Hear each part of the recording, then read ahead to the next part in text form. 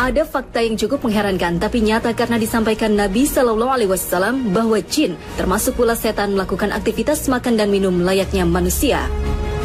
Suatu ketika Abu Hurairah radhiyallahu anhu membawakan pada Nabi Shallallahu alaihi wasallam wadah berisi air wudhu dan hajat beliau. Ketika ia membawanya, Nabi Shallallahu alaihi wasallam bertanya, "Siapa ini?" "Saya Abu Hurairah," jawabnya. Beliau pun berkata, carilah beberapa buah batu untuk kugunakan bersuci, dan jangan bawakan padaku tulang dan kotoran.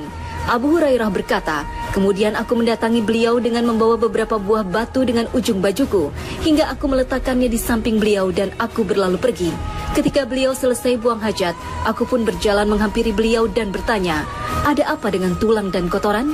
Beliau bersabda, tulang dan kotoran merupakan makanan jin. Keduanya termasuk makanan jin. Aku pernah didatangi rombongan utusan jin dari Nasibin dan mereka adalah sebaik-baik jin. Mereka meminta bekal kepadaku. Lalu aku berdoa kepada Allah untuk mereka agar tidaklah mereka melewati tulang dan kotoran, melainkan mereka mendapatkannya sebagai makanan. Hadis riwayat Bukhari.